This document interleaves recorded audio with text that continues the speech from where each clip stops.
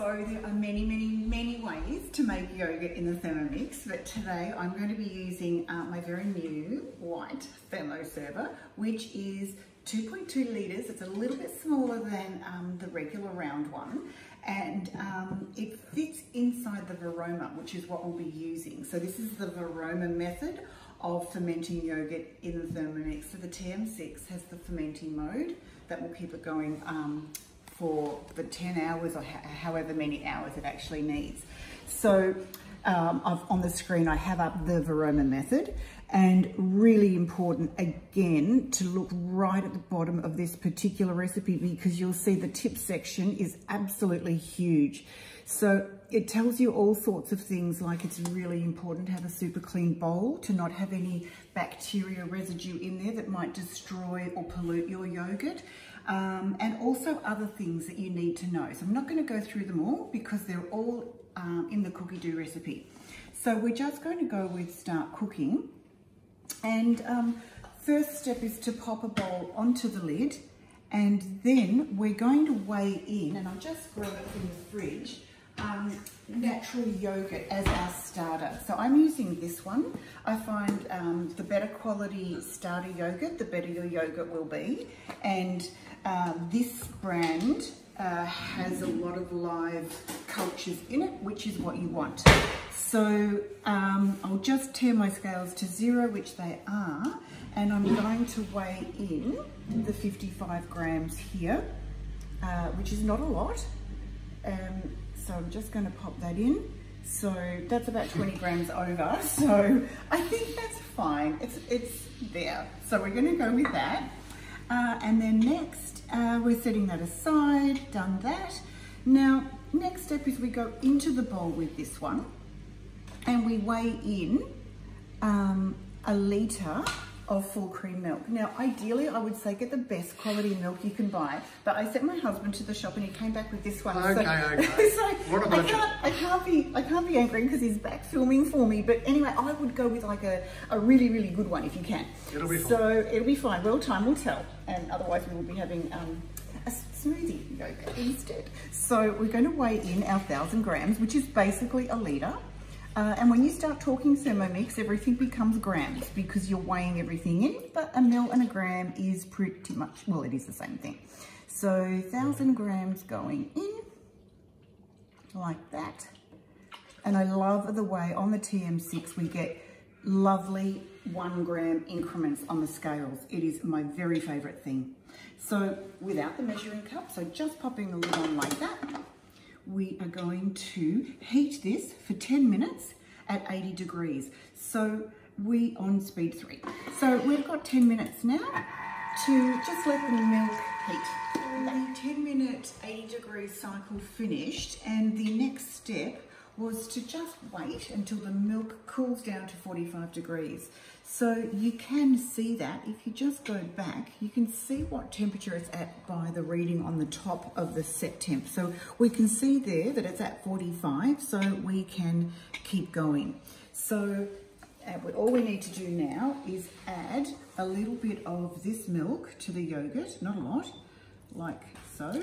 That's just our starter yogurt that we need for all the culture in there to actually create um, a new live batch as it ferments. So we're just going to incorporate that a little bit so it's not quite as thick. So that looks great. Yeah, so it's just a nice thick runny consistency. And then the next step is to pour this yogurt mixture into the bowl of milk. So that's going into now our heated milk. So that's all of that lovely culture that we want. And I'm probably going to use a spatula to get every bit out because as I said, we want all of that good live bacteria going in and that's what makes it so good for our gut and us in general.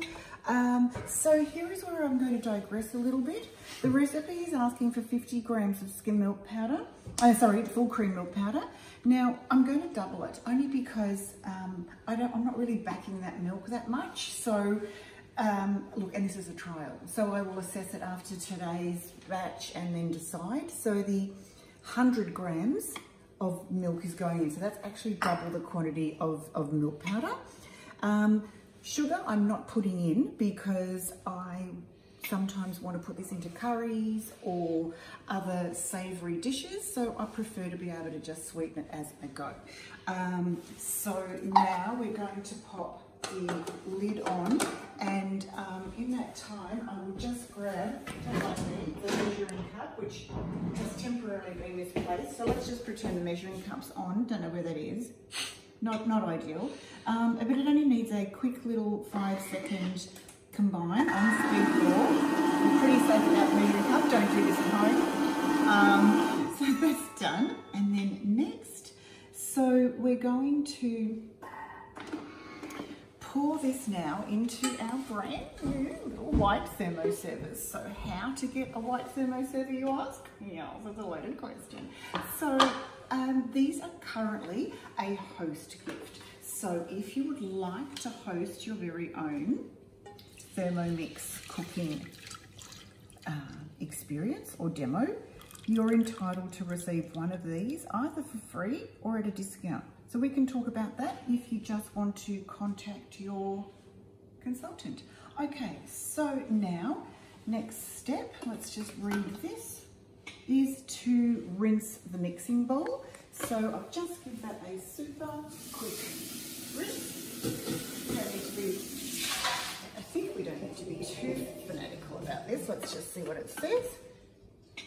Uh, so 200 and 50 grams of water. So let's just weigh in 200 and almost there, 250 grams of water. Water's gone in. We want to pop in about 30 grams of lemon juice. This is um, apparently meant to just, because we're going to be fermenting for a very long time, it just protects the bowl and the blades. So sometimes I do this and sometimes I don't. So I haven't really found it's absolutely essential, but you know, we're just doing the right thing today. So 30 grams of that going in. And then next, what we do now is pop this is where it varies. This is just one of the many ways, I said, to make yogurt. Varoma in position. Um, and then we pop this in because it's designed to fit into the Varoma. Mm, clever. Yeah, very clever. Um, whoops. And then just want to double check if the lid actually goes on. Place Varoma dish with the thermal serving bowl into position, secure Varoma lid. So I'm going to say that's a no. So we're just going to pop this on like that. And then we are going to let that ferment for 10 hours. So ideally you would do this overnight and you would just wake up to beautifully set yogurt. So anyway, see you in 10 hours. Right. So here is the exciting time. Our uh, fermenting time is up. So our beautiful yogurt has just been doing its thing um, and it's ready. So I will just take it off and we can just check the consistency. Now it's important to remember that while it's in the fridge cooling, it will further thicken. So we don't need to worry at this point if it is too runny, but it looks really good. Like that looks amazing already. So um, I will call that a beautiful, beautiful set yogurt. Um, and that is literally straight off the Thermomix after it's 10 or 10 and a half hours of fermenting. So um, it's, just beautiful. So when, when we wake up in the morning, this will just be perfectly, perfectly set. So, um, oh, it's really, really nice. If you want your yogurt more tart, you can leave it on for even longer. So you can change the fermenting time to 12 hours if you like. So looking at this now, um, all we need to do, because it's been set in this, the best thing to do now is just cover this beautiful white thermo server and pop it straight into the fridge. The less disturbing you do of the yogurt, um, the better. So not having to pour it out into a container into the fridge, is really, really good for your yogurt setting. So um, I can't wait to have this in the morning and I love how it looks and um, if you are interested about uh, in the white thermo servers, then definitely uh, comment and I will get back to you because I love them so much. Here we have yogurt just made uh, and set in the beautiful white thermo server. I love it. It looks amazing.